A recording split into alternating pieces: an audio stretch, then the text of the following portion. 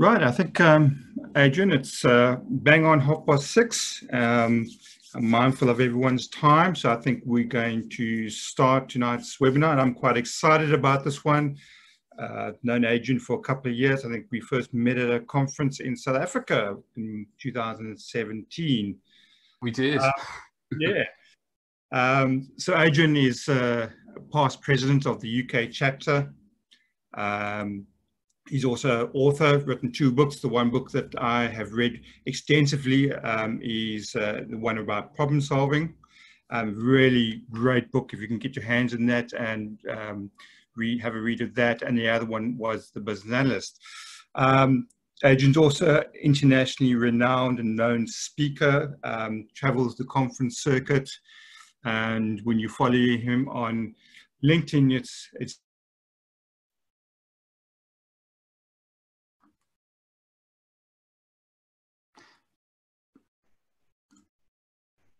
Paul, I think we've uh, lost your audio if you're there, Paul. Uh, there, I'm back. Can you hear me? yeah. yep, yep, I can hear you now. yeah. Somehow I muted myself. Anyway, um, so um, just welcoming Adrian tonight um, on his brand new topic. I think it's hot off the press. First time in New Zealand. I think it's also first time you actually doing a presentation in New Zealand, Adrian. So uh, Yes, and in fact, this is the first place. Uh, this is the first time ever I've given this presentation, so I guess we could call it the global premiere. ah, yes, well done, New Zealand. Anyway, I'm not going to take up any more of Adrian's time. Um, Adrian, um, it's up to you. Go for it. Okay, fantastic. Well, thank you, Paul, for that that really warm introduction, and thank you so much for inviting me to present um, really, really uh, excited to, to have that opportunity. So, as Paul mentioned, my, my name is Adrian Reed. The presentation tonight is entitled Systems Thinking Practical BA Techniques for Business Agility.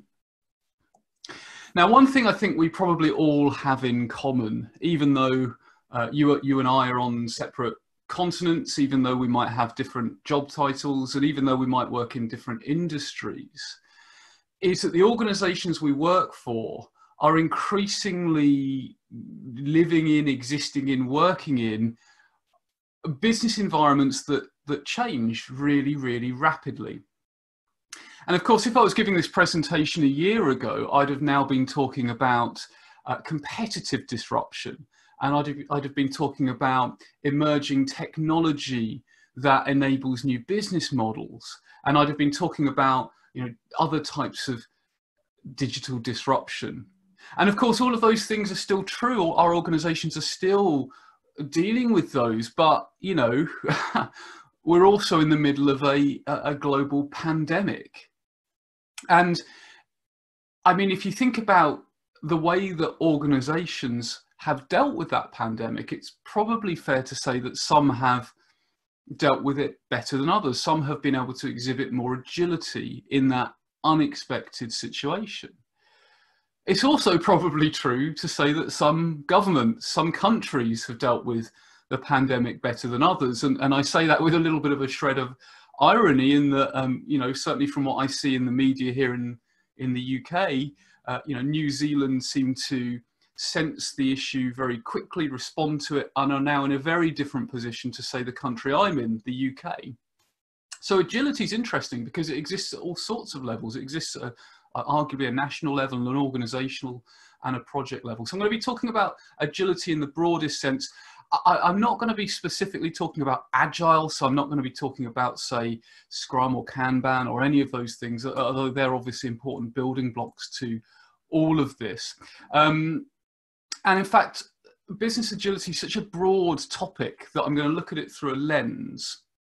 And the lens I'm going to look at it through is systems thinking.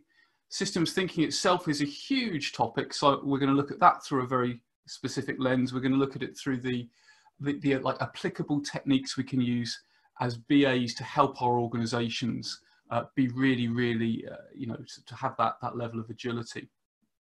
And my presentation is split into two main parts. The first half, I'm going to talk about why, why, why agility is, is, is relevant, why it's important. I'll use a slight, slight historical case study to set the scene in that part. Then I'm going to move in in the second half and talk about how. And I want to share with you a bunch of techniques from the world of systems thinking that, that we could perhaps use as practitioners as well. I'll be going through those techniques relatively quickly. So if you want to know more about any of them, uh, there's a sort of references slide at the end, and you'll also see references on the slide where you can find out more. So I want to start by talking about why this stuff is, or why I think this stuff is important. And I want to talk about a historic case study. It's going to sound quite random. It is relevant, I promise, so strap yourself in for this one. I want you to imagine that it is March 1980. You may or may not have been born in March 1980, but even if you weren't, just imagine what the world was like. If you lived in the UK at the time, uh, like like you know, like I do, I believe the uh, the number one hit single at the time was the Jam "Going Underground," which is a fantastic song. Uh, you might have been very excited because the next episode of Star Wars, The Empire Strikes Back, was coming out in just a couple of months. But certainly, depending on where you lived in the world, you might also have been quite worried about impending nuclear war. Because one thing that is really easy to forget about the 1980s is that global thermonuclear war actually looked like a plausible possibility. There were increasing tensions between you know, nations like the USA, the, the UK, and, and, and other European nations, and the USSR, and, uh, and things were really escalating. In March 1980, uh, Russia invaded uh, Afghanistan. The tensions were at an all time high.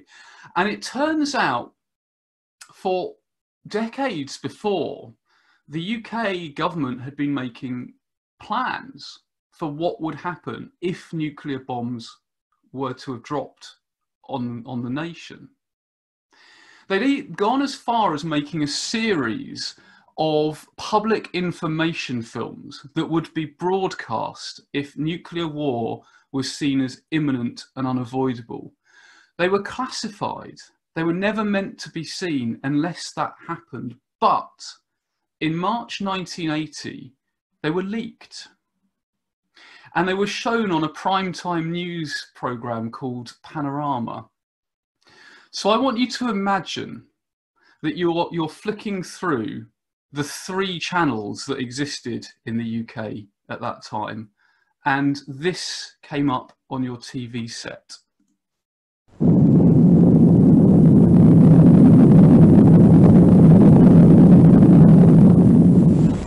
Nuclear explosions are caused by weapons such as H-bombs or atom bombs. They are like ordinary explosions, only many times more powerful. They cause great heat and blast. They also make a cloud of deadly dust, which falls slowly to the ground. This is what is called fallout. So these are the two dangers. First, heat and blast, which is followed by fallout. You can protect yourself and your family. And later on, we will show you what steps to take.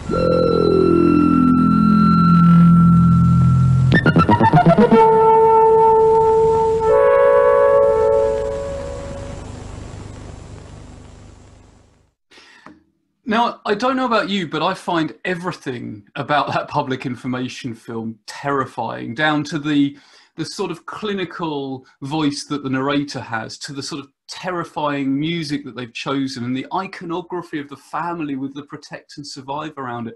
That's actually an edited down version. That There are actually 20, 20 episodes of that and it's chilling. It's, it, it's terrifying.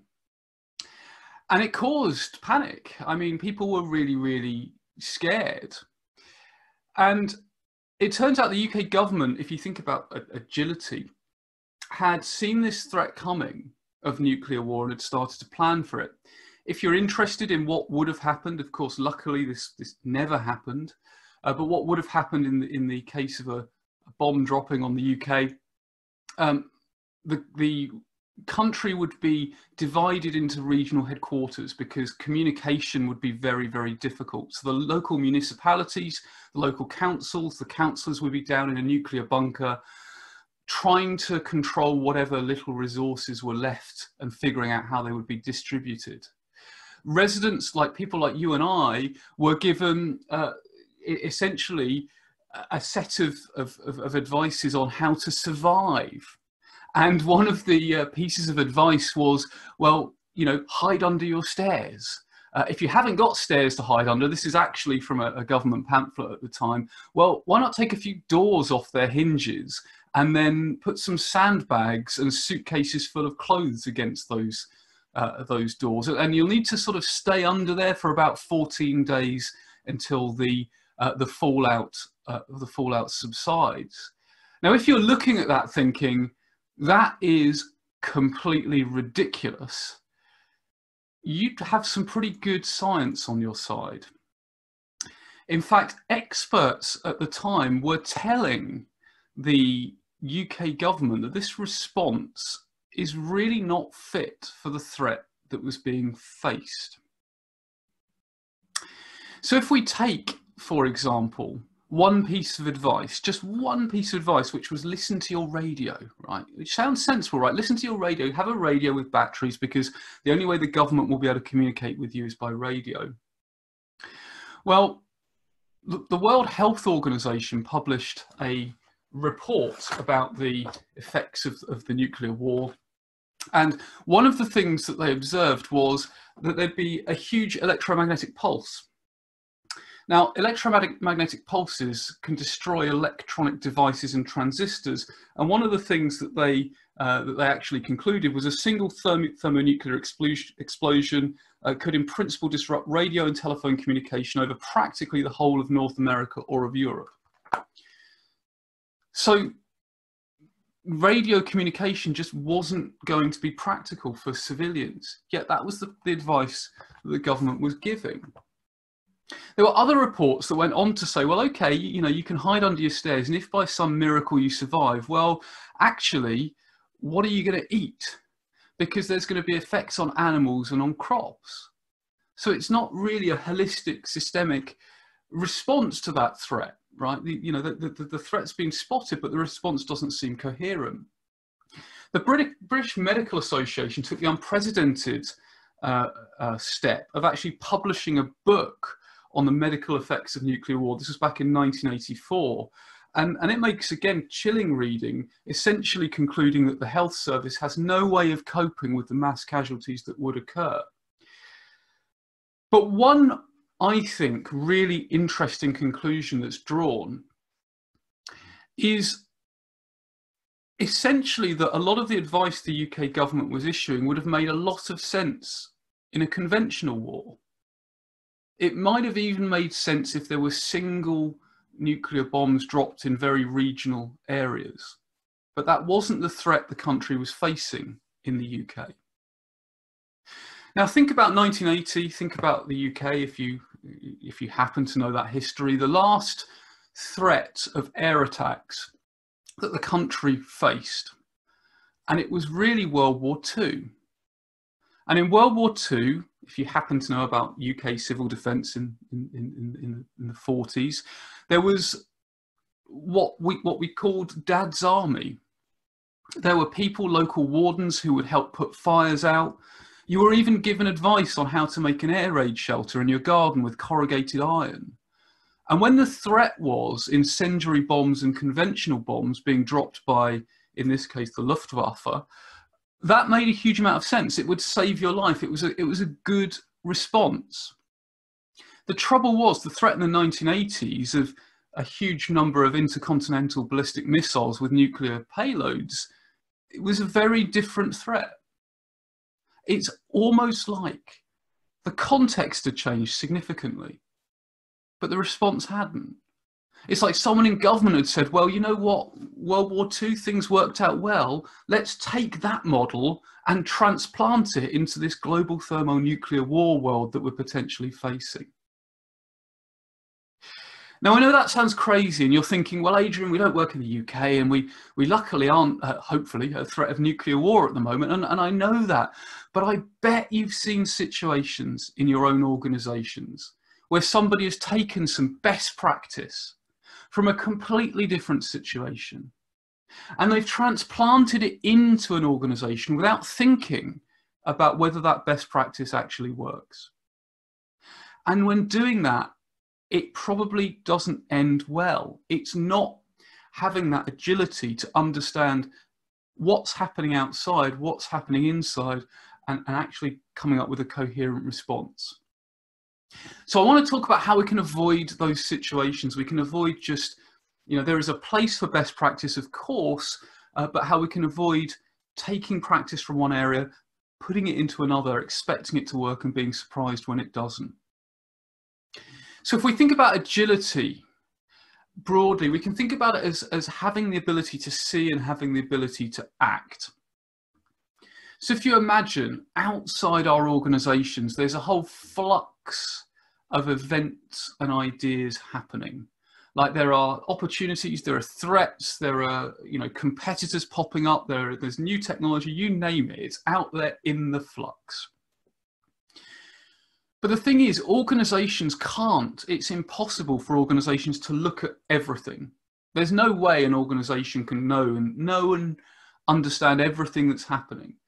So an organization has to look at that flux through a lens. It, it has to appreciate what's, you know, it has an appreciative setting. Where it looks depends on what it sees. If it doesn't look at its competitive landscape, it can't respond to it.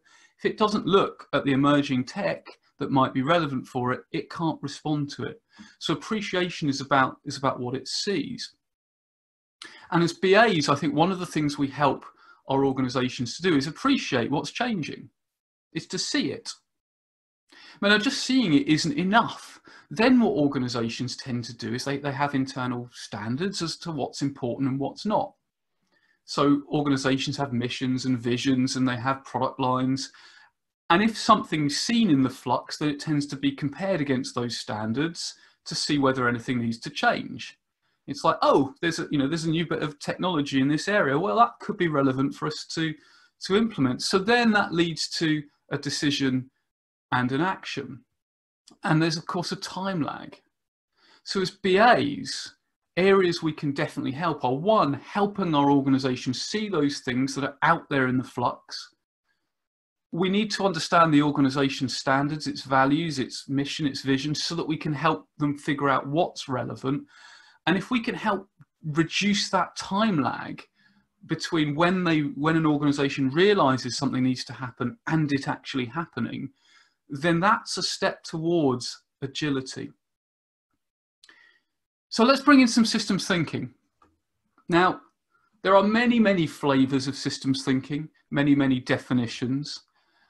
And when I'm talking about a system, I'm definitely not talking about just IT.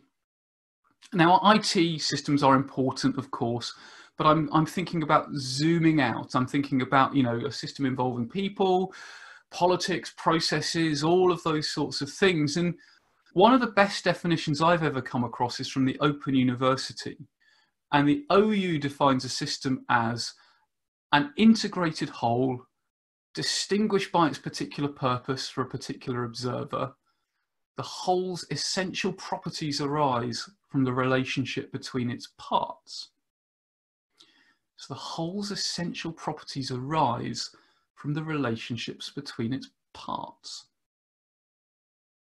And it's interesting, isn't it? Because as analysts, as organizations, we, we spend a lot of time analyzing parts like departments or teams or IT systems or processes, but we don't always talk about the connections so much. And maybe that's another area where as BAs we really help because we often, we might not use the term systems thinking, but we often talk about stepping back and seeing the whole and holistic thinking. And, and those ideas have a family resemblance with systems thinking. So why should we care about systems thinking and business anal uh, analysis agility generally. Well, I just picked out a couple of quotes here.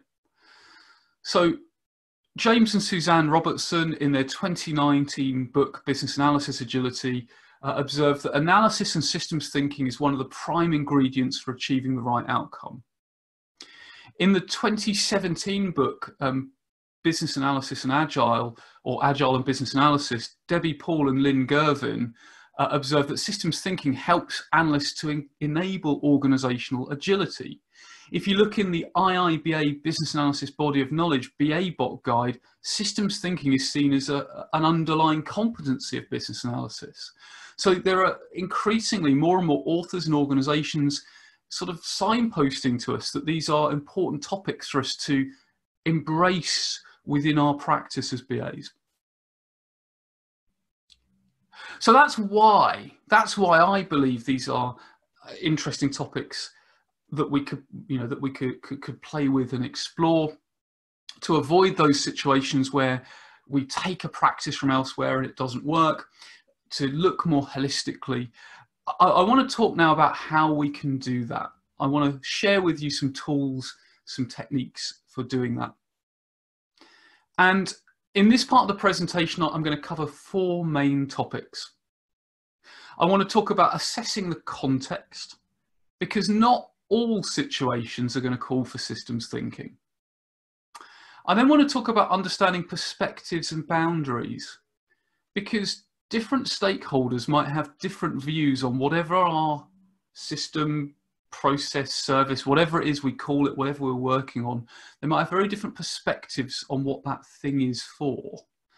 And we're going to look at a technique called systems maps and a technique known as critical systems heuristics in that section. We'll then briefly talk about understanding the problem situation. I'll, I'll, briefly show you a multiple cause diagram there. And then very, very, very briefly at the end, I want to talk about proposing and taking action. And we'll look a little bit at backcasting and the brown cow model there. So first of all, purpose. And, oh, oh no, sorry, first of all, assessing context, getting ahead of myself. How do we go about understanding how complex uh, the situation we're working in is? Well, there are many sense-making frameworks out there. One that I want to talk a little bit about today is the Stacey diagram. Now, this was first proposed by Ralph Stacey, who's written a lot about complexity theory. It has to be said I'm using it slightly out of context here. I'm putting a business analysis lens on it, and I'm, I'm showing you a slightly simplified and adapted version of it. And Stacey drew two dimensions. So on the y-axis, on the, the vertical axis, how far or close to agreement people are on like why change is necessary and what changes we could think of in our world. And how close to certainty or far from certainty experts are on how that problem could be solved. So extending the, the diagram a little bit, for, for business analysis, we could think about like the axis being what, why and what on the, uh, uh, the vertical axis and how on the uh, horizontal axis. And if you're, if, you, if you're facing a problem situation, a project where you know what, you go in there, there's consensus about the why and the what, uh, there's already agreement on how it should be solved and that, that feels right, then you're probably in the domain of rational decision making. If you're in the extreme bottom left hand corner, it's probably a case of just do it. People agree, you know, the, you, there's linear causation, things can be proven. It's going to be a relatively straightforward project, you know, touch wood. That's actually probably an area where I, I know this is always an, un, an unpopular thing to say, but waterfall might work there. You know, if, if the requirements are stable, it, it might well work. There's certainty if you're in a governmental situation, that's the zone of evidence-based policymaking. You know, there's, there's linear cause-effect relationships. Systems thinking might add something, but it's not going to add a huge amount in that zone. If you've got disagreement on the why and the what, people don't seem to agree on why this change is even necessary, but you've got certainty on how, that's where people have fallen in love with a solution. And that's often about political decision making. And you, you've probably all found this where someone's fallen in love with a technology with, with a technology, but it's like, well, hang on a minute, why do we need that? Techniques that we'll cover in the next section may well help with that political decision making. But the area where the stuff I'm talking about today will add most value is in that middle bit, in the complex decision making uh, arena. Now, the reason I show this diagram is this and others like it, I find really useful when I'm parachuted in, when you've started to get a sense of the stakeholder landscape, to say, okay, where are we? You know, are we in the rational decision? Is everything really clear? Are we down here? Great, then we can just do it. Or are we somewhere over here, in which case we need to do more analysis? And I find personally the danger is where stakeholders assume we're down here, they assume there's consensus, but actually no, we're, we're, we're miles away. And, and that's where we have to nudge, we have to get people on the same page, we have to use all of those skills that we know and love as BAs. So we've talked about assessing context. I now want to talk about understanding perspectives and boundaries. And I'm going to throw a picture up on the next slide. And I want you to just think, uh, you know, think what it is a picture of and what it's for. And you can write it down or you know or just think it in your head. And it isn't a trick question i promise you. This is the picture and the particular item i want you to think what is it and what it's for is it for is this. I'm pretty sure that all of you are now saying well the photo's a bit blurry adrian but it looks like some steps or some stairs. And you'd be 100% right and when I asked you what it's for, you probably thought something like, well, that's an odd question, Adrian. It's for people to get up and down the hill. And you'd be right. Except, what's really interesting is this person here, you might notice, is using them for a different purpose. They're actually running up and down the stairs as a form of exercise. So this picture is taken in uh, it's Castle Field, which is down on the, the south coast of the, the UK. And I've no idea where the, when those stairs were built, but I do know that they're, they're built like this. There's a castle and battlements at the very top of that, that hill there, presumably where there used to be cannons. So they might well have been hundreds of years old. And the thing is, I'm pretty sure that when they were being built, nobody was thinking about designing them for exercise. Yet that's how they're being used.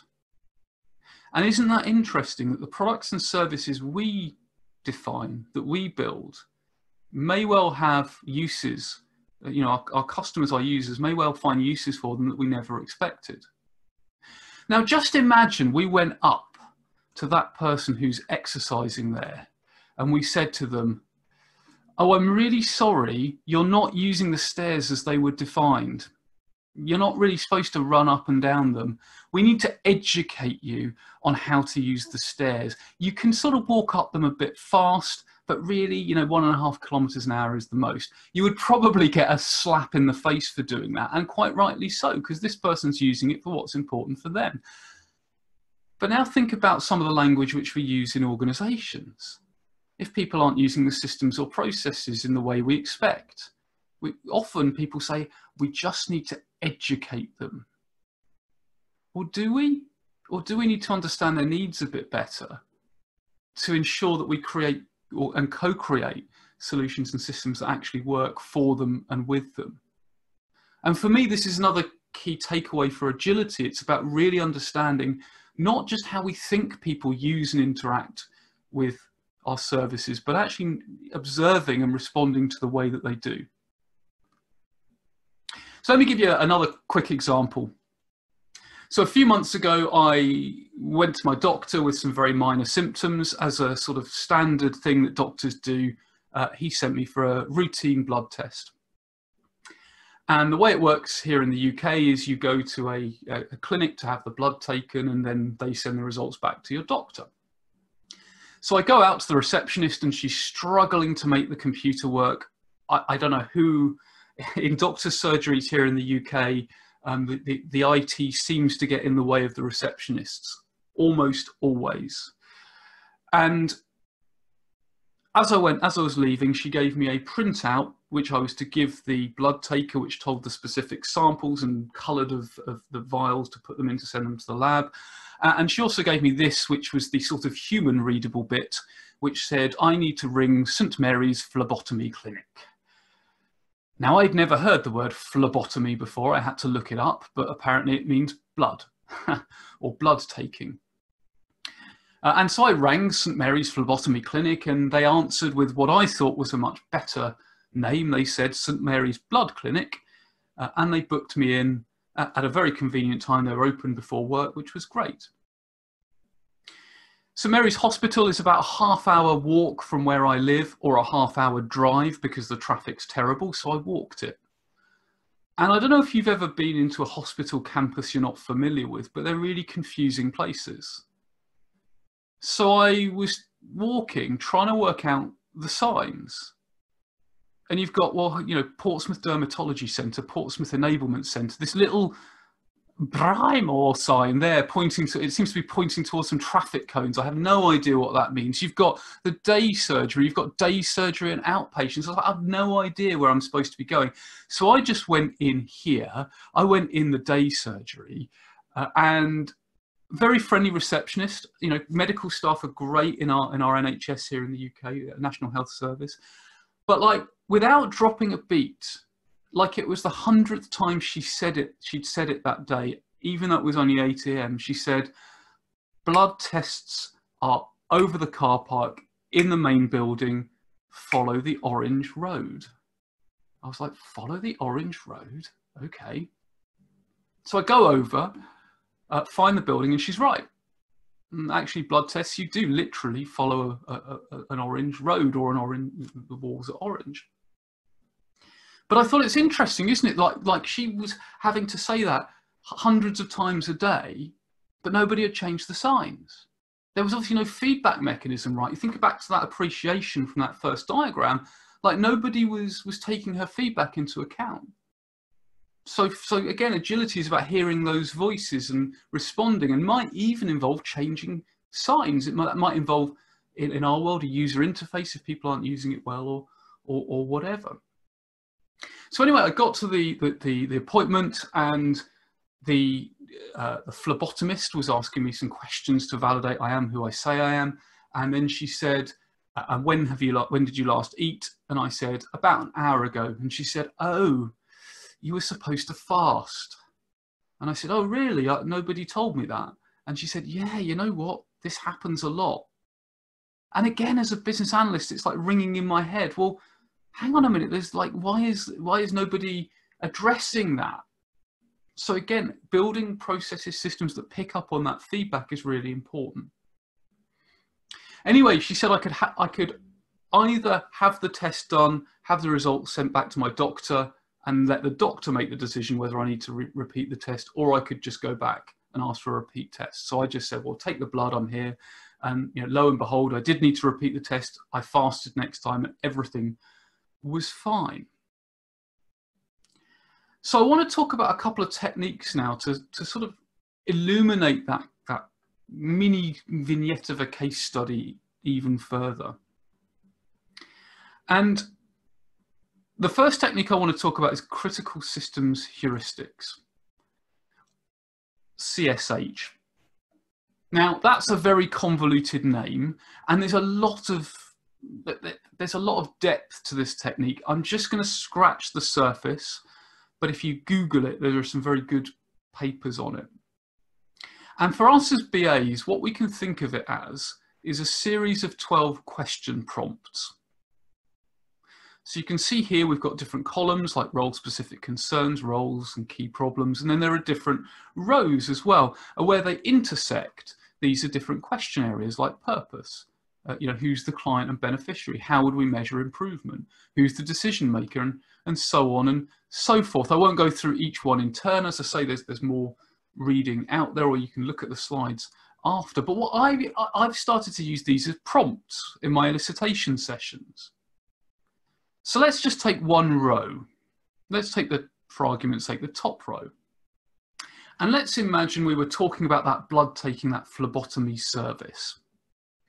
Well, if you were to ask, say, me what the purpose of that service was, I'd say, well, it's to take my blood to diagnose whether I'm sick or not. If you ask me who the client or beneficiary is, I'd say me. And if you ask me how you could improve that service, I'd say, well, first of all, tell me I need to fast in advance. And, you know, I want lots of flexibility over when I can have an appointment and I want to be able to cancel it and reorganize it and I want to get the results really quickly. Okay. And that's a valid perspective. If you ask the phlebotomist, well, they might have a narrower view for all I know. They might say, well, the purpose is actually uh, for this particular step of the process is about taking blood in a clinically safe way, uh, getting it uncontaminated to the lab, you know, uh, and whatever. They would probably see me as a client, I'm sure, but they may well see the doctor who's getting the results of the test as a client. And if they were looking for improvement, they might be looking at different clinical measures. Now, neither of those perspectives is inherently right, but think back to the steps, right, which were being used in a different way. If we're going to build whatever we call them, services systems which respond to the environment that have that agility, then we really need to know the perspectives of people who are involved. And I find these question prompts really, really useful. You can also ask them in two different modes. You can say, for example, what would you say the purpose is? And what do you think the, purpose ought to be? That can lead to some interesting conversations. There's a lot more I could say about that technique. I will pause it there. But if you want to know more, do, I said, there's lots of excellent reading online. This can, this can lead on to some really interesting conversations that can be documented with a systems map. A systems map is a, a snapshot of a system of interest from a particular perspective. And if you imagine, like, let's imagine we were interviewing the phlebotomist, we were perhaps using critical systems heuristics, and we just start to ask, well, what's important to you? What things, what systems, what entities are important to you in, within your system of interest? Well, they might say, well, you know what? You know, we, we perhaps establish that they that they consider it the, the purpose to be a system to take blood, and they say, well, you know, well, you know, I'm part of this system. Uh, obviously, my blood taking equipment there's a scheduling service and there's a record keeping system which has patient information and samples and so on. And you literally just draw them as blobs. And when something's like a, a component of something else, you draw it as a blob within a blob. Like that's what us, like in systems thinking is known as a subsystem. Okay, and it doesn't have to represent reality. It's just what this person thinks is that it's what's important to them. And the reason it's important is you can then say, okay, and why does all of this exist? Why do we take blood? And you can zoom out. And that blood taking phlebotomy service we were looking at, well, maybe that exists in a broader system to test the blood of a patient. And that involves a lab, a general practitioner, a doctor who gets the results, another scheduling service. Interesting, isn't it? We've got scheduling at two levels. Maybe there's a conflict there. Maybe as BAs, that's something we need to look at. And we've maybe got a different record keeping system, which again might be a source of some issues. So we start to zoom out. And any, you know, if we were working at, at this previous level, if we were tinkering and making changes, well, if we're going to exhibit agility, we need to know what's happening at this level because we need to make sure that our solutions are coherent Uh, and actually integrate with it. But then we can zoom out even further and say, well, why are we testing the blood of a patient? You can keep going and going with this. Well, we're probably testing blood to diagnose a patient. Why are we diagnosing them? To treat their illness. Why are we treating the illness? Well, to keep people well. And the reason this is so important is it's so easy. We've all done it to be like tinkering, changing a small thing in, in, in a tiny subsystem but if we don't do it in a way that is consistent and coherent with the broader purpose, with the broader, uh, bigger picture, then we just end up creating situations where, like in that example, you know, the receptionist gives the same advice 20 million times a day because nobody's realized that a change is necessary. Or we make things worse. In, you know, we, we displace a problem uh, elsewhere. So systems maps I find really good conversation pieces. They're, they're never, I've, I've never really used them as formal artifacts, but for sense making, for saying where, where's the problem? they can be really uh, useful conversation pieces. So I want to move on now and talk about understanding the problem situation. And that crazy example I opened with, with the nuclear advice in the UK in the 1980s, is an example where the government hadn't, or areas of the government hadn't taken into consideration the broader external environment. I'm pretty sure many, most, or even all of us will be familiar with external environment analysis techniques like PESTLE, PEST, STEEP, STEEPLE, whatever you want to call it. I use STEEPLE. I mean, calling it a technique is too grand. It's really just a set of, you know, it's an acronym, a mnemonic, stands for social, technological, economic, environmental, political, legal, ethical. And these are just headings. They're placeholders for conversations about the external social factors, technological factors, etc., that might affect our organization. Think back to that first diagram. These are the things in the flux. And if our organization hasn't got the appreciative setting, if it doesn't look for them, it can't respond to them. If we merge that with that idea of a systems map, what we're really saying is these are the things that happen outside of whatever boundary we've drawn. We can't change them, but we can respond to them. And but in order to respond to them, in order to have that agility, we need to know that they're there. So I know often PESTLE and Steeple and techniques, they're perceived as a strategic tool, which they are, but sometimes that, that's, people assume that, means you can only use it on like strategic in, initiatives. But I think we always need to know, like, you know, our projects, we need to be delivering projects that work within not just the context of the internal system map that we've drawn, but also it needs to work with the external steeple factors. So it's a, you know, it's a useful technique to revisit I believe, regularly. But of course, most of the time, as well as the external factor, there'll be some internal problem that we're responding to. And I just want to very briefly talk about the multiple cause diagram. This is a technique I wish I'd found about a decade before I found it. And at its essence, it's really simple. I'll show you an abstract example, then I'll show you a worked one. So you take some form of event or state, a problem. That could be a negative event that's happened, like we've had a data breach, or it could be some kind of negative state change, like our profits are dropping, or whatever. That's, you know, could be a smaller level than that as well. And you track back all of the causes. You know, use five whys and why else. This is like a like a fishbone diagram for complex even more complex situations where there's no order or little order to the categories. And here what we're saying is, well, the proximate, the primary causes of the event are A and B. But you know what? E causes A and B, and G causes E and A, and so on. And we'd gather data, or if we can't gather data, we'd, we'd brainstorm to work out the causation. And they might be theories of causation. We might need to go and prove them, but it gives us a, a start point. Now, what most organizations do when they are problem solving in inverted commas is they will sort of say, well, let's, let's solve A and B, right? right? And that'll work. But unsurprisingly, the problem will come back because you haven't solved any of the sort of deeper root causes.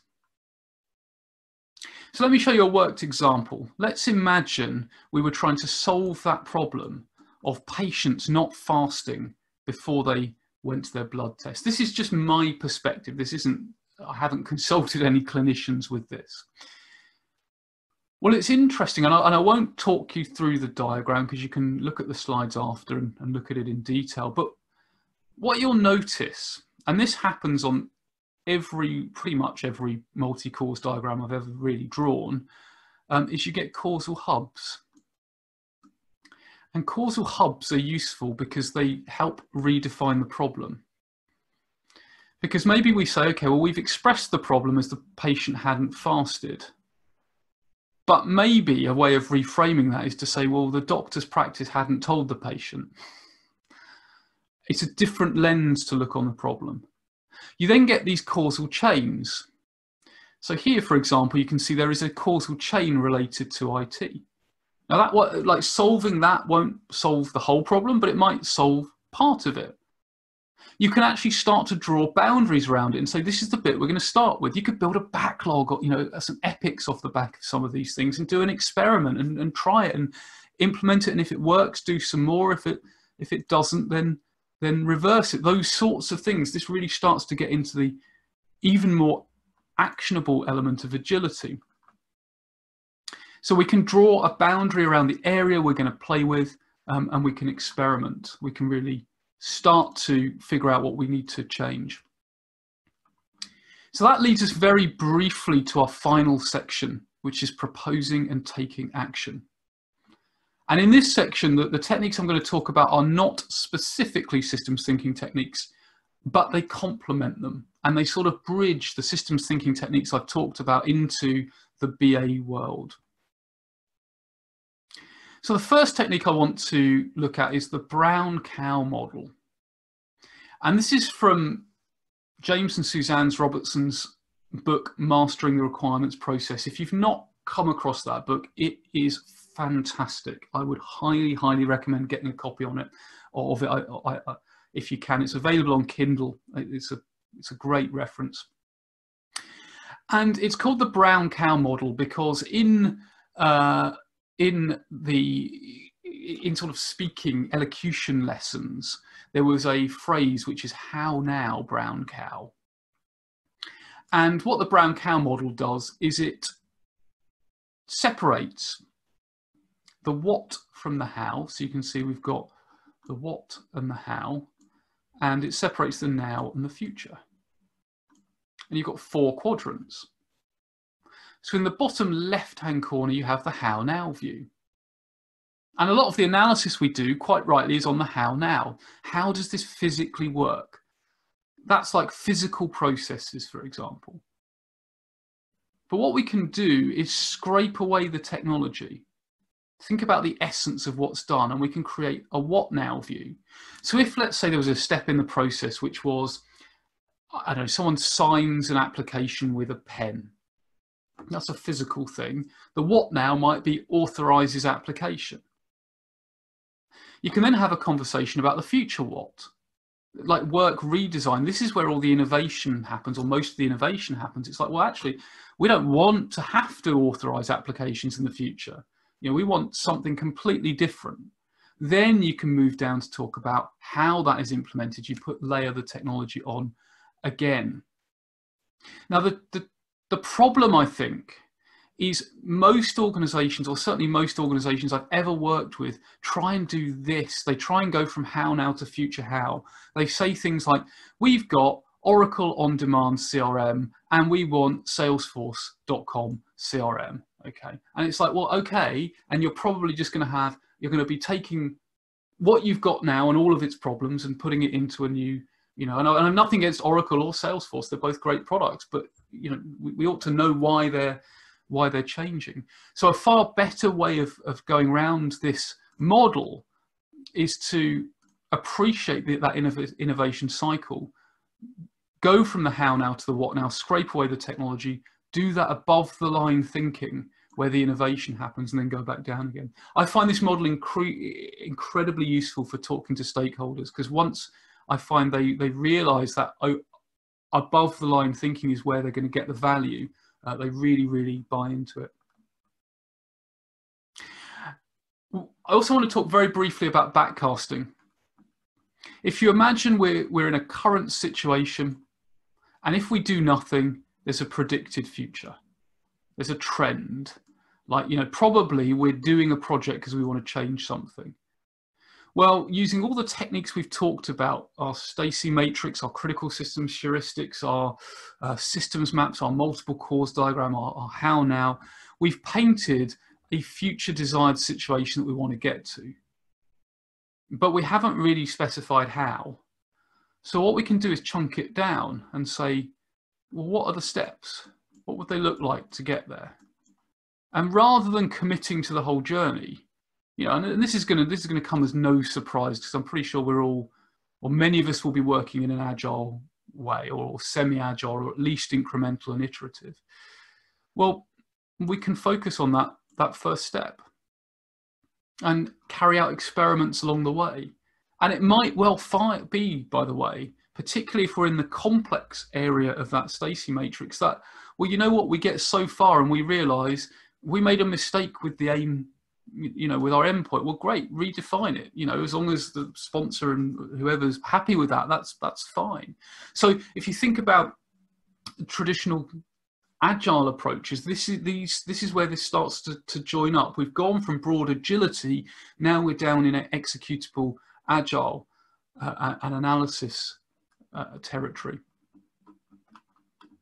so in summary we've talked about assessing context with the Stacey matrix remembering that that's a one of a number of tools that we can use to assess the complexity if we were down in the bottom left hand corner then i'd be saying probably uh, systems thinking isn't necessarily going to add a huge amount. But if we're in the middle of the complexity, then it really, really will. Or if we're in political decision making, then it, it, it will as well.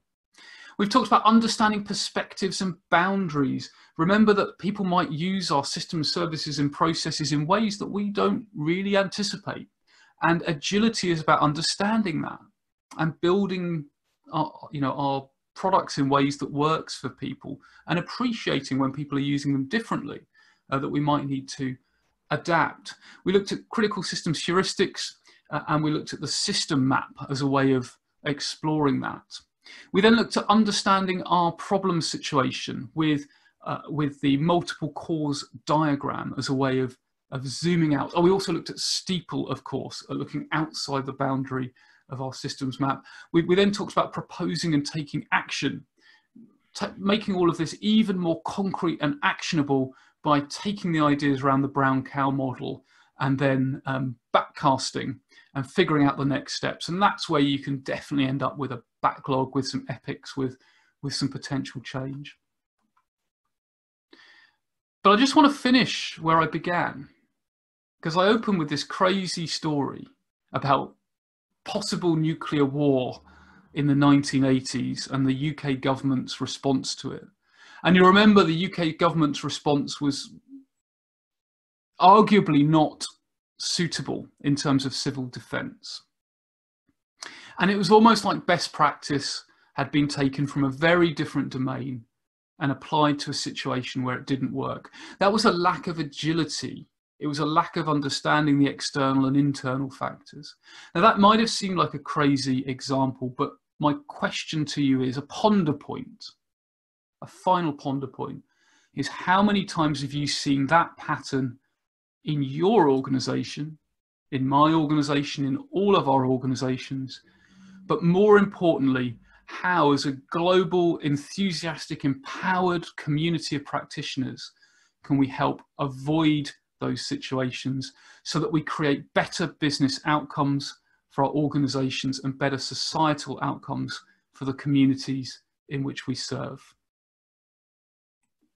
And with that, I will say thank you very much and I will hand back to Paul.